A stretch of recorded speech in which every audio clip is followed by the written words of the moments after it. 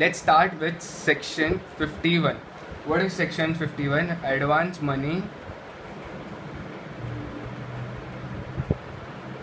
forfeited I hope this section came in May 16 exam. I, I don't have any surety that it came or not, but I am I'm having I have read the question paper. I don't I'm not recalling it right now. Uh, so let's continue. Section 51 Advance money forfeited. What is this advance money forfeited? Any money taken from a prospective buyer who was willing to purchase the property from the assessee and for this purpose he had paid advance to the assessee.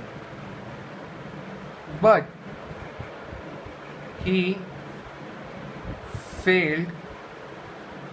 Sorry. He failed to pay remaining consideration.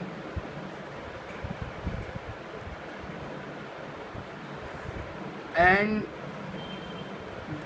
and that is he made a default in the payment.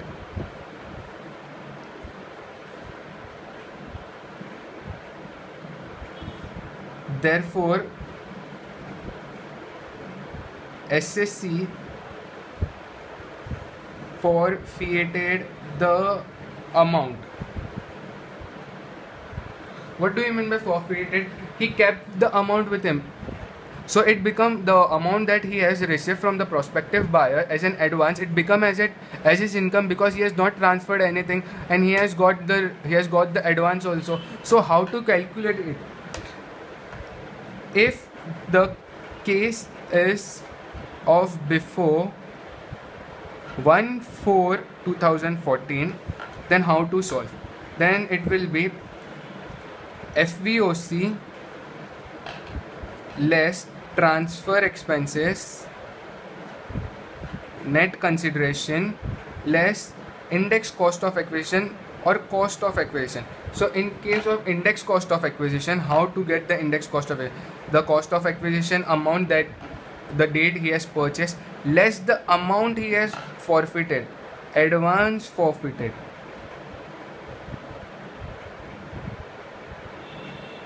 And the amount that will come into 1081 divided whichever the year it was assuming it 447 or whatever relevant year.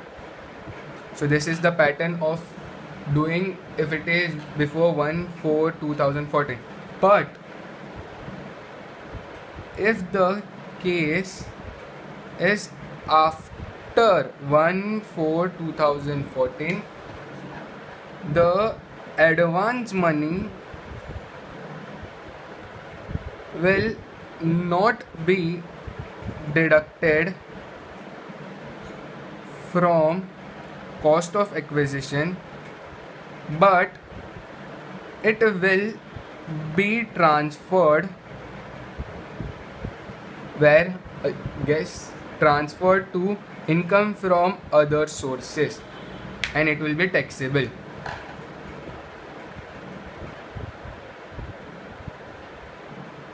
So let me tell you the effect of doing this. After doing after see if the cost of acquisition let me take my calci and on that i'll show you. Wait let me take a fresh page. Cost of acquisition see when you do this fvoc assume 5 lakhs and less transfer expenses nil net consideration it comes to 5 lakhs. Less index cost of acquisition. In index cost of acquisition assume you have got the index cost of acquisition as 4 lakhs. When the cost of acquisition was 2 lakhs the he has purchased the property for 2 lakhs.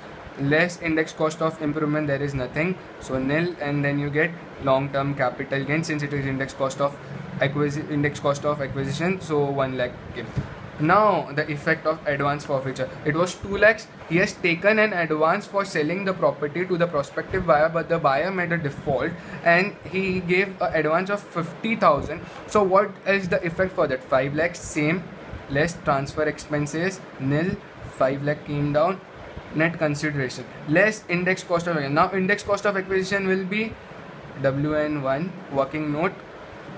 See now see the working note. Wn1 so index cost of acquisition is equal to the cost of acquisition less advance forfeited. The advance forfeited amount we have decided as 50000 so cost of acquisition we have taken as 2 lakh. It was it is all assumption 50000 so now the index cost of uh, so the cost of acquisition now is 1 lakh 50000 now we have to multiply it by 1081 and the remaining down section.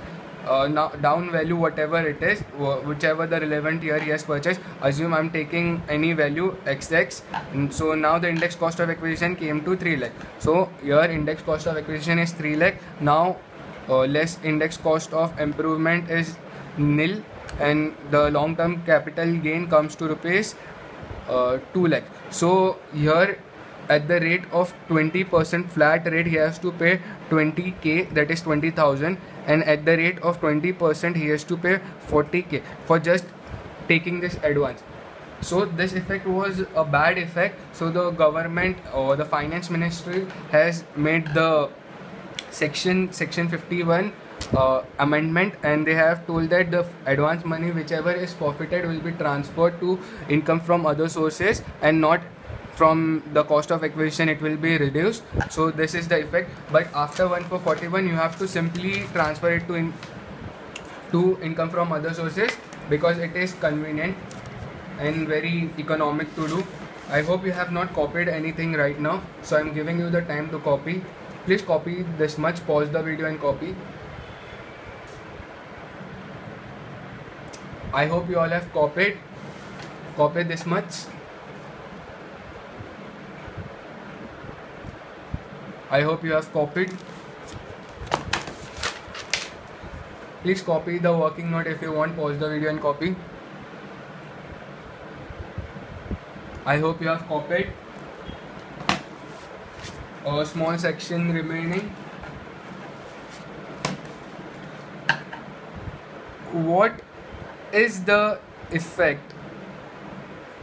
If the asset is destructed which asset? Capital asset. Ca capital asset is destructed not current asset. Capital asset is destructed. What is the effect if the capital asset is destructed by fire or whatever means?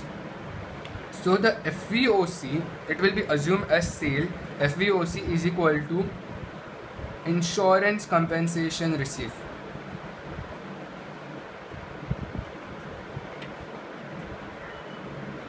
This might come for the theory part.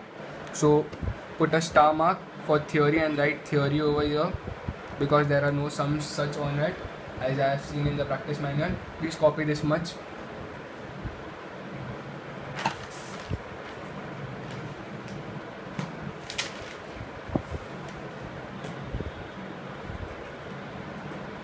I hope you all have copied. So I think we should take a small revision. No, let it be. Uh, I'll take the revision at the last. I'll teach one more small section. Section 50B slump sale. What does this slump sale means? See, if you are an industrialist and you have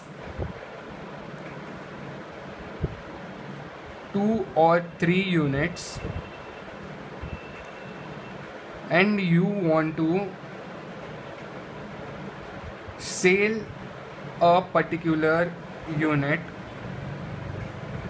Such units are a capital asset and you are selling such units and you are getting an income a capital gain so let's see how to calculate the capital gain in the following manner. First, FVOC, the fair value of consideration or full value of consideration less transfer expenses.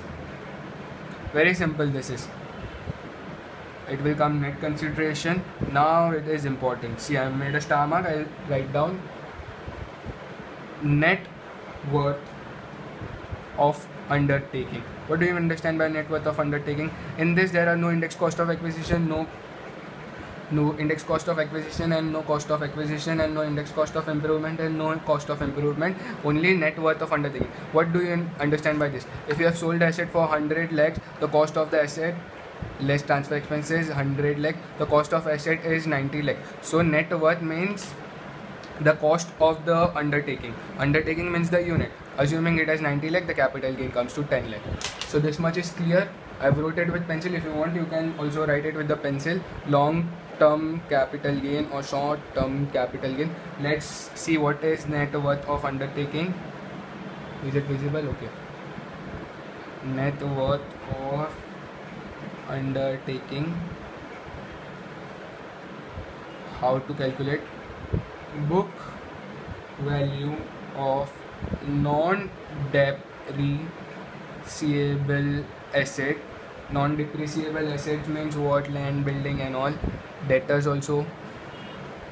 Plus WDV of depreciable asset. WDV of depreciable asset means the if the provision of depreciation is given on the credit side net it off and bring the actual value of the depreciable asset and then less book value of outside liabilities. I hope this much is clear. Then you will get net worth. Xx xx xx less get triple x. Okay please copy this much. The capital gain chapter is completed. Now we'll solve sums i hope you all have copied it down. Let's stop the video. Let's start with the practice part. Practice manual sums